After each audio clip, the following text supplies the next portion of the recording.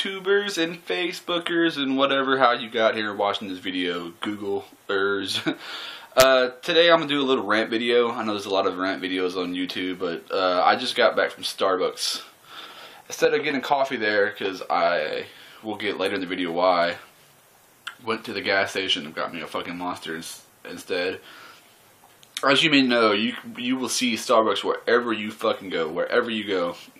I remember in Beaumont, there was one in fucking Kroger's. There was one by the, the, gas station in front of Kroger's, and there's one across the street. So you can do a three fucking sixty and see three fucking Starbucks in a block. Yeah, people need their coffee throughout the day, and they need their energy, but I don't recommend going to Starbucks.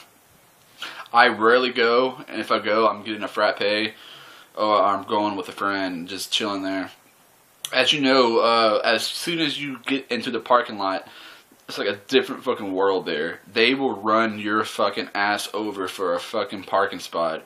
There is never enough parking spots. They always put it in secluded areas where there's not enough Starbucks.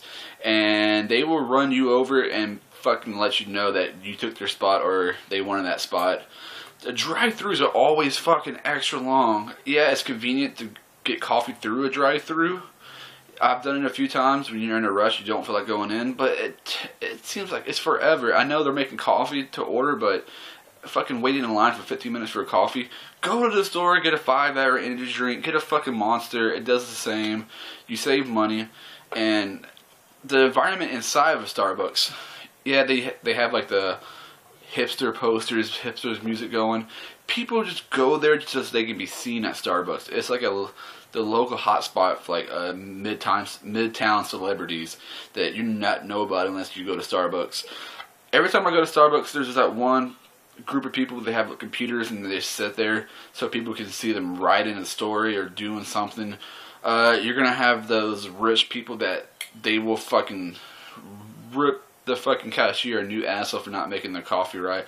I need a triple latte with fucking triple espresso, half latte, soy milk, blah blah blah. They know what they want, which isn't a bad thing, but fucking don't yell at someone making seven dollars to make your fucking coffee.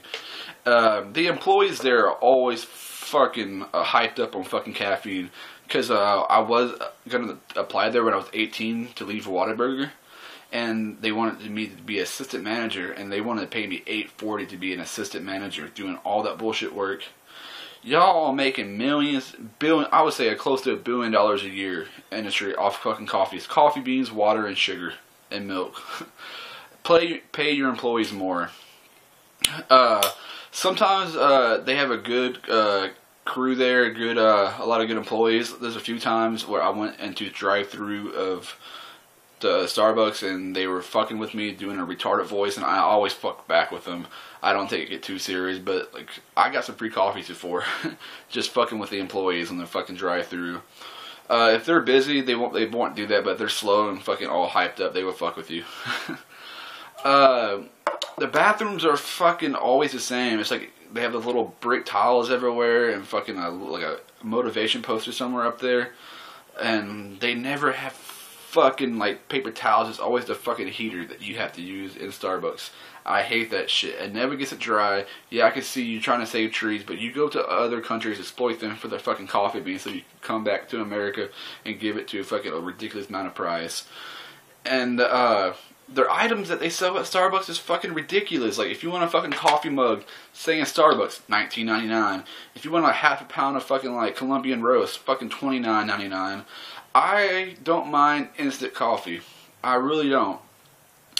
I can get a whole fucking tub for four fifty, whatever, five bucks at most of Folgers, and I get hundreds of cups from it, and it's just water, fucking heat it up, fucking add the coffee, sugar, and whatever, how you want it.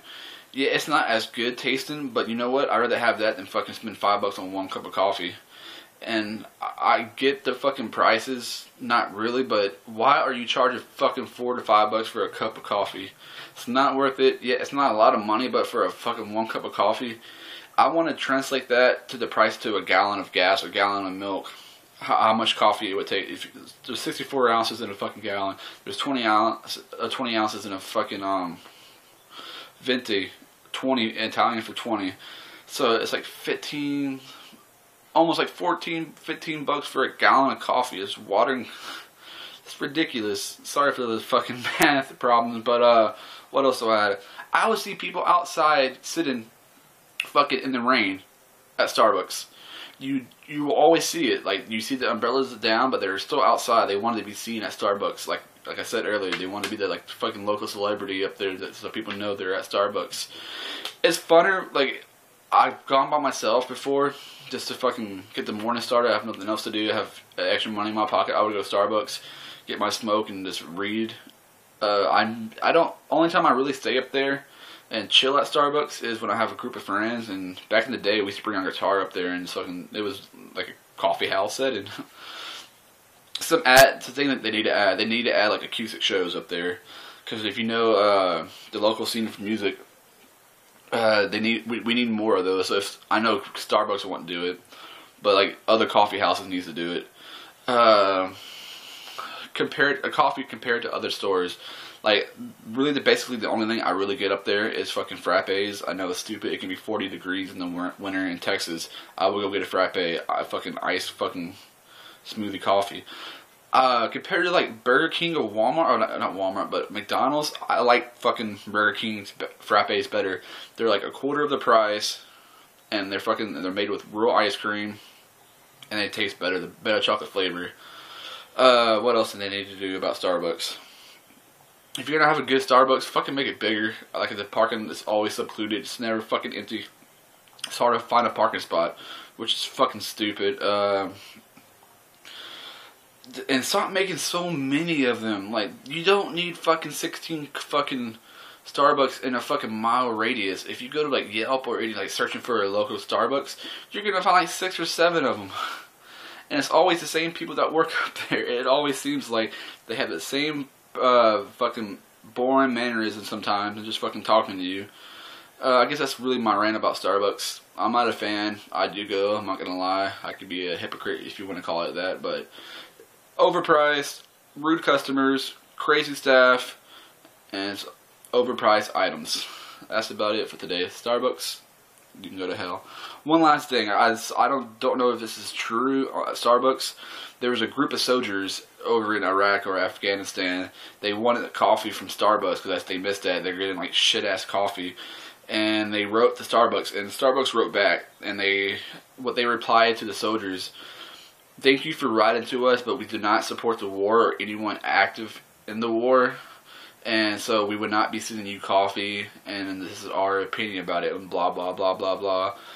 Like, if a soldier wants some fucking Starbucks coffee, fucking send them. You have billions of pounds of coffee every year. You can afford a couple thousand to the soldiers. You want them to be alert. You don't want them to be tired and fucking shit. You may not support the war, but support the fucking soldiers in the fucking war. They're not, they're a fucking across the world fighting a fucking battle they probably don't agree with like you do. Don't fucking down talk them and fucking make them feel like shit all, all because they want coffee. They don't go into your fucking like life and fucking fuck, tell you like, hey, I'm fighting this war for you, but I don't fight the Starbucks. They're gonna fight for you anyway, so fuck off, Starbucks. Anywho, this is D Tranthams, a uh, rant about Starbucks. I'm bored. I'm hyped up a monster instead of getting a fucking Starbucks. Fuck Starbucks. Good frappes, but everything else you can fuck off. Uh, Detrantham, subscribe, please. I I got a few the past couple days. My channel views are get uh, going up and up. I think I started with like a hundred or two hundred like in the past month, and I'm up to like over a thousand, which to some channels it's nothing. I've seen some channels with millions. Like, comment, please, say something. Get aboard. Y'all have a good day.